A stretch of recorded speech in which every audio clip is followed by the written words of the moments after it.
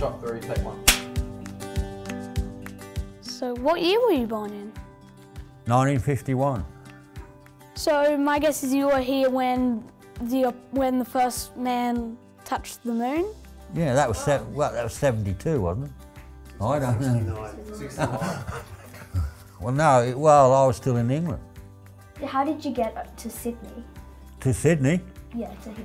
I emigrated from England with my parents No. Um, did you come by um train or, by plane. or plane? And it, believe it or not, back in the old days, it took two days to get here, even though we flew. Yeah, because the planes weren't strong enough, is my guess. Well, I had to keep stopping to refuel because from England to Australia is a long way. Yeah. When we first came to Australia, we were sponsored by a housing company because in those days you had to be sponsored to come to Australia. We lived at Baulkham Hills in one of the sponsors' houses, which we have, my parents eventually bought. I used to like playing uh, football. They call it soccer in Australia, but we call it football in England. What I used to like about football, we had a good team. I used to like winning. Uh, I used to do athletics. Uh, I've even played uh, netball against the, the, the girls. You, we used to play soccer, football, but uh, the teachers, at this we were only young, the teachers decided, no, we'll put the boys against the girls. And we won. What did you want to become when you grew Yeah, up? as I grew yeah, up. yeah, as you grew up. Uh, well, when I was real young, I just wanted to be 25 because I thought 25 was that was old. And then when you get to 25, you think, oh yeah, I want to be 40. And then when you're 40, you want to be 60. And when you're 60, and so on and so forth. Just keep going. What's your favorite hobby? My favourite hobby would be trying to understand use computers. What's technology like back then? Very limited. Uh, it's not like today where you've got, I mean, everybody these days has got a mobile phone. I often wonder what they used to do before there was uh, mobile phones invented.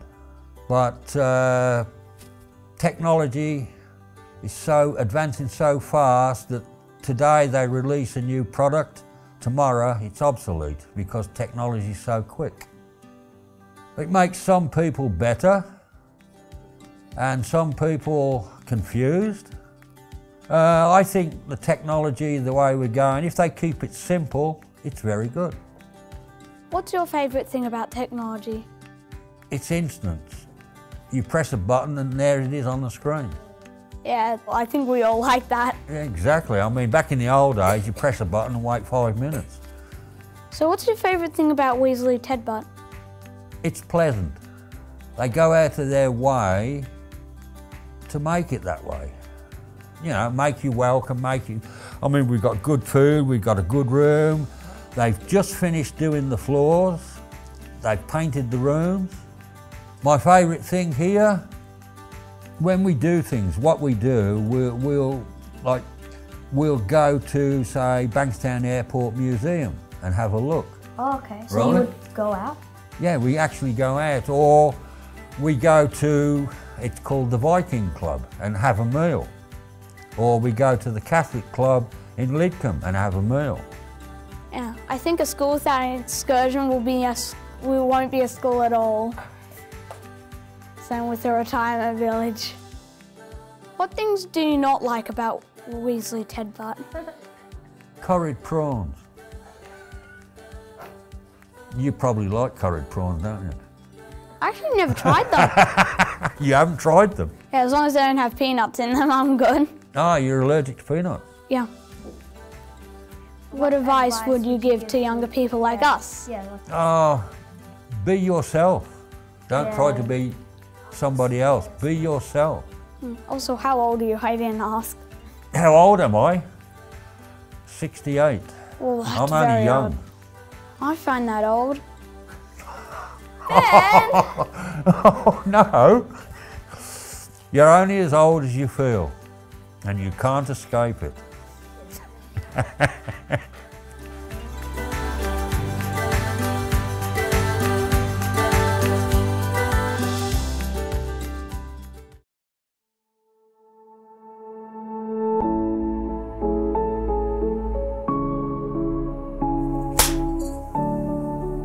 When were you born? 1st of March 1950. Who was in your family? My two brothers, myself, and my parents. When you were our age, what did you enjoy doing most? Having Sunday lunch with my parents and going to the beach. Uh, I like going for a swim. Uh, I sunbathed for short times. I went to Normanhurst Boys High School, and uh, before that, I went to Normanhurst Primary School. I started my first job was when I was 14, and I lasted for two weeks, and I that was just while I was at school. And when I was when I was 15, I I was in the navy for a short time, and then I and then I got another job as a, uh, as sort of an executive for Wrigley Chewing Gum Company. When I was 16, I had another job for a place in the city where they did liaison work for the government, sort of a semi-government job. And when I was 17, I was a clerk for the water board for 10 months. Do you have any parts of your family after 16, like a family or marriage? I had a, um, a wife when I was 19 for three months, and uh, during that time, I made Lynn pregnant, and uh, she had, she had a son and a daughter to me, twins, fraternal twins, and uh, Graham and Susan. What is one major change in the world that has appeared in your lifetime? The death of President Kennedy in 1963 the beginning of the Vietnam War, which I didn't partake in. Why? Well, I was too young when it was beginning, and uh, I was in the ballot for, for, to be called up when I was 20, but I missed out. I missed out in the ballot. I wasn't. I wasn't called up after that, so I think it was a good thing that I didn't go there because I would have could possibly have been killed or maimed or or made a paraplegic or something like that. So I was glad that I didn't go there, really. What was technology like when you were a child? Well, television was introduced in 1958, I think, and uh, we got we got a television set same year, I think. And uh, my father bought a uh, a new car when I was 13, 1963, and uh, it was a good car, it was a powerful car. And had an automatic transmission and uh, it was uh, Falcon and it was a good car. My father uh, drove it pretty fast sometimes. What do you like about your life in Tebutt? Uh, oh, the facilities are fairly good. I've got my own bathroom. Everyone has their own bathroom. I like the activities. What did you enjoy the most? I, I enjoyed working for the liaison company in the city when I was 16.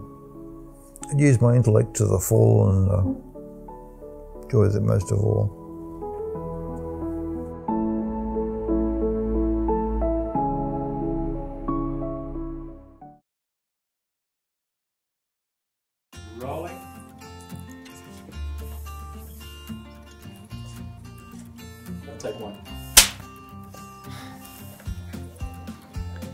Where were you born? I was born in Italy, and my family immigrated when I was eight years old in um, 1957. I just want to say I have two vivid memories of Italy, or a few actually. Legoland, some memories in Legoland, another memory of me chasing birds. Mm, well, you won't get too many birds in Italy no more. Um, I went back in 1983 and couldn't see any birds, and I asked somebody, and they said, "Oh, we shot them and ate them." So, no wild birds left, apart from pigeons. There's a lot of pigeons in, in the They, cities. they don't they don't eat pigeons. no, not No, much. okay. yeah. What was your favorite thing to do? Like when like when you were like, younger or Um, yeah, mainly like riding my push bike, swimming. I like swimming, a fair bit. Yeah, things like that, picnics and that sort of thing. Now, what's your favourite food? Oh, probably uh, lasagna's pretty nice. I really want to try some now. Mm, yeah, it's good. Yeah, you want to try some? What was technology like back in your days, like in, in Italy? Um, well, we had virtually none. Um, No, no technology. no, Okay. I only come from a little village. Oh, okay. Closest city would have been, I don't know, about 50 miles away. That's quite a long way. Yeah. 50. I left school at 15 and went to work in a fruit shop. In, oh, in a fruit shop. Yeah. Yeah, I wasn't too bad at school, and uh, but unfortunately, I left. Uh, I left school a bit early and uh, um, didn't have um, opportunities that I might have had. Um, by the age of 20, I was a railway guard in Western Australia, and I got called up for national service when the Vietnam War was on Oh, okay. and done two years in the army. In the army, it was pretty pretty good. Yeah, you get to meet a lot of different people in there. But once you get all your um, training done, it's just uh, just like another job. Yep. Uh, only now and again you get um, lumbered with weekend duty. Everybody gets that, so it's all right. And um, I went back to Italy in 1983 but I didn't really like it that much because um, it's a different way of life over there. And it's uh, big, wide, wide open spaces here, and um, uh, about the best country in the world, I think. So, yeah. I advise any young person to travel and see Australia because it does change from time to time, and um, there's pretty nice places out there to visit. And um, yeah, travel is. Um, I advise any young person to do a fair bit of travelling. Mm. I always try and um, you know, be truthful with people and um, don't do anything to anybody that um, you wouldn't like to be Yeah. done to yourself. So, but always try and be honest, you know, especially with your your friends or immediate family. Um, yeah, that's the best advice I can give you. Just be honest. Mm. Yeah. Is that it? Okay. All right. Bye.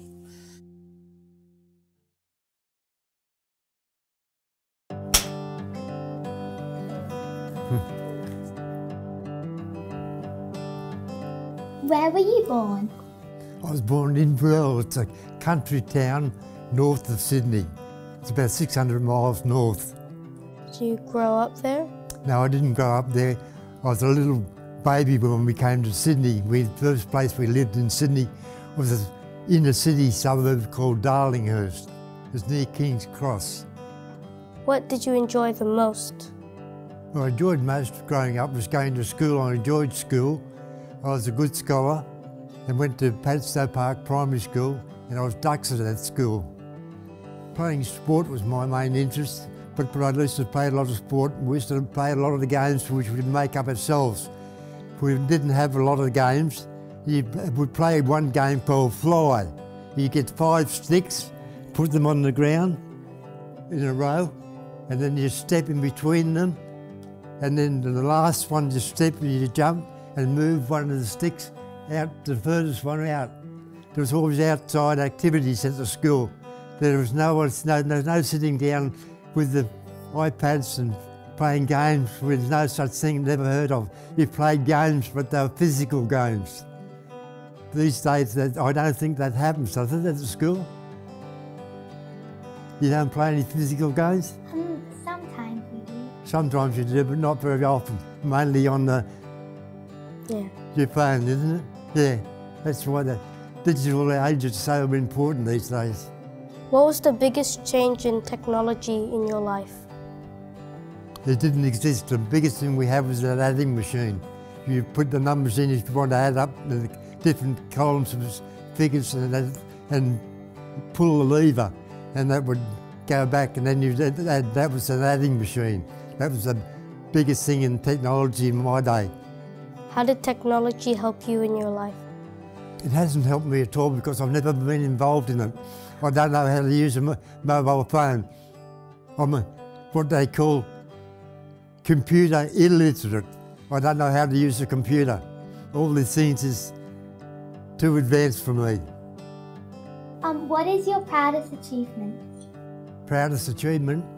All the jobs that I had, I had a, quite a few different jobs. I enjoyed working because it's what you put in to the job, you take out of the job.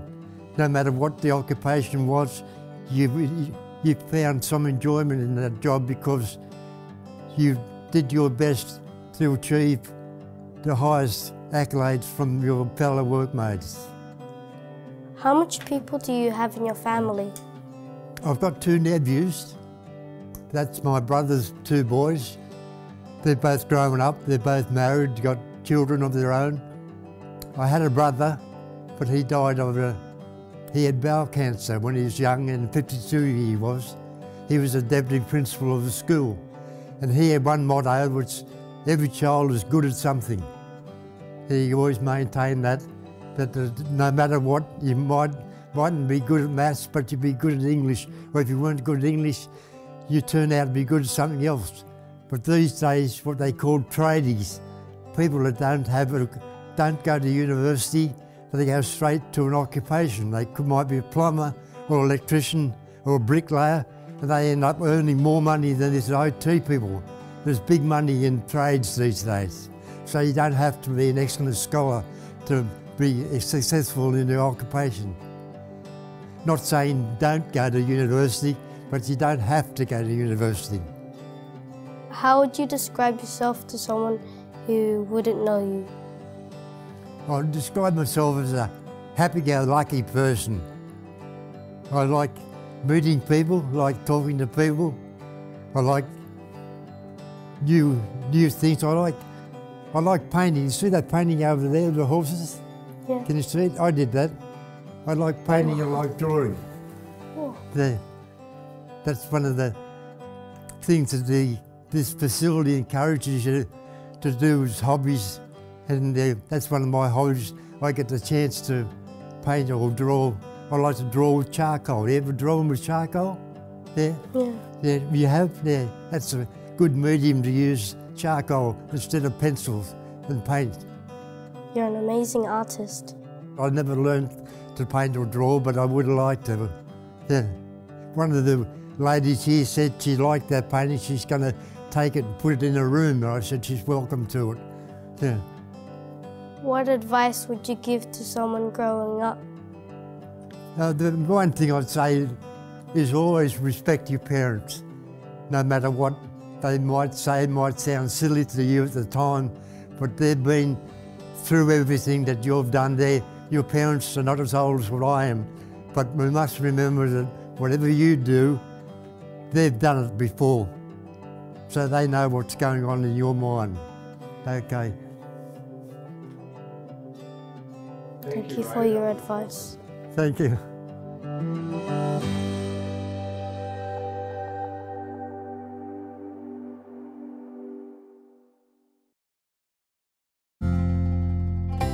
Clap it. You're done. Right, take a seat. Where and when were you born? I was born in Baghdad, Iraq. Why did you come over to Australia? I had my sister here. She came five years before me. And of course, a lot of good talk about Australia. I think I was 21 years old. I'm very happy to come to Australia, but I'm very sad I left my family, my parents there. So, you know. What was your job? How did you? I'm a builder. See, I built, I built this building, apartments. Were you ever like scared when building? Apartments is scary. If it was so scary, then why, why did you choose to be a builder? No, I, I never said so scary, but it is scary. You have to be careful. Besides, if you don't do something because it's scary, that means you won't be able to do nothing because everything is scary generally uh, in life. Did you have any other jobs than a builder? Well, I I did work, uh, do business, kebab shops. I used to do kebab and uh, I was very good at it. Why do you like kebabs? Number one, if you see, look here, you don't ask that question. I like food. And kebab, I, I like uh, the taste of kebab. Did you ever get married later in life? Yes, I got married. I have uh, three kids. Where did you get married and what attracted you to your wife? Well, I got married here in Australia and Redfern. And what was the second question? Um, uh, how, how did you get attracted to your wife? Ah, that's secret. what did you do for entertainment as a child? In, in my childhood, in my place, there's no such thing entertainment. There is fights all the time. As a Christian, you'll have fight all the time. The, the country is Muslim. Most people are Muslim, but there is a Christian. Because of that, you have to come, how you say, it? tough, or otherwise forget it. You always cry and that.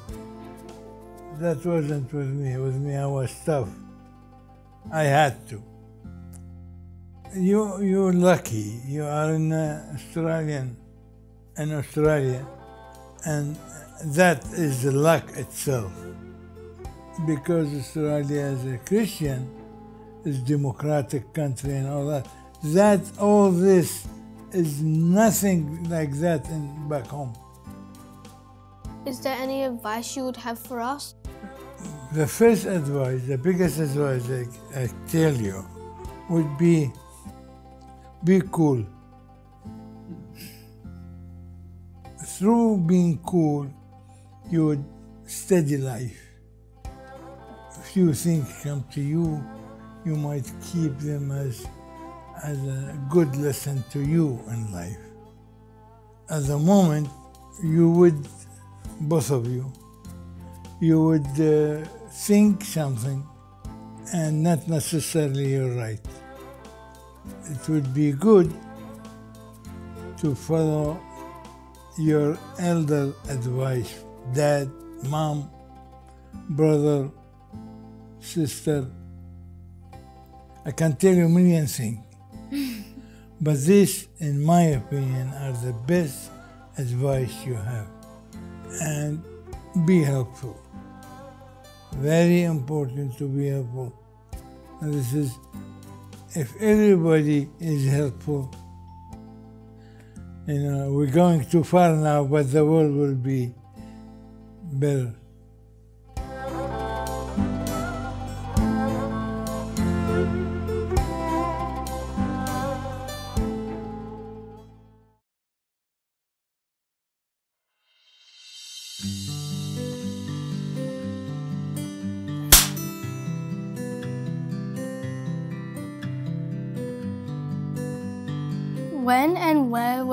Born? In Portsmouth, England. Is it co- like cold in Portsmouth, England? Yes. How cold was it in Portsmouth? Minus 15. Wow, that is cold. Why did you come to Australia? Because we were having trouble. My father was getting a bit rough with people and wanting things. And my grandfather said it's better if you left England altogether. We applied to come out here. How old were you when you left England? 21. Did you do any education back then? Well, I, I was in the Air Force. A certain age, from 17 to 21, you got you were called up What did you do in the Air Force? I was just a clerk. What did a clerk do?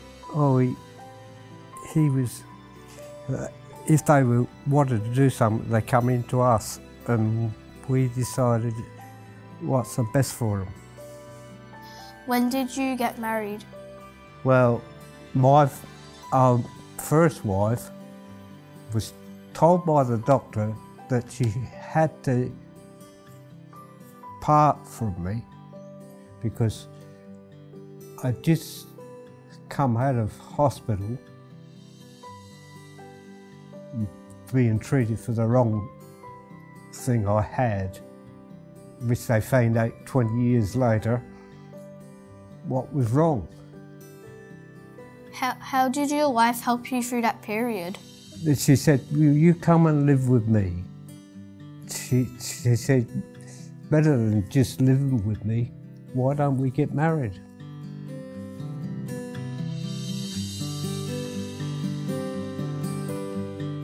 How did you guys meet?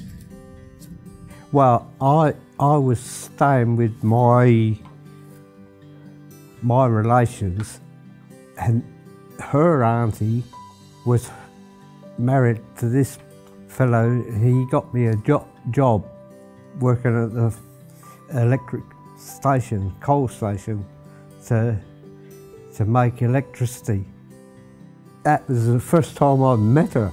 And then then it went ten years later. We were both. She come down to Newcastle. I was at Brush Farm and I was walking across the schoolyard one night and Bob had met me there. And then when I was down at the riverside, Bob just walked down and uh, tapped me on the shoulder. And um, he asked me, was I Colleen? I said yes. And he was quite happy when he met me. But there was a doctor one time he got me, tried to get me the hospital. And Bob decided that before lunch he came down and got me, back and she said, Are you Colleen? And I said, Yes. He said, I'm taking you up because it's lunchtime. And I was so happy to see him. Bob just come to the rescue in time to get me out. And um, Bob kept me in hiding until he left. What else do you like doing together? I like like colouring in in pictures. They are, are something something that doing it makes you feel that you are doing something for people. Pe- people can look at pictures a different way and think it's different.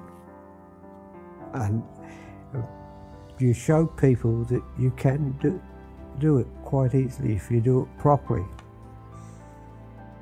How did you stay together for such a long time? Well, we because we love one another, and, and that's what we're doing. Is work. God wants us to be together. Together, and show we can show people that you can have a happy life being married. Well, some people don't believe this. She's a companion to me through Jesus. So we can be together always with the love of God.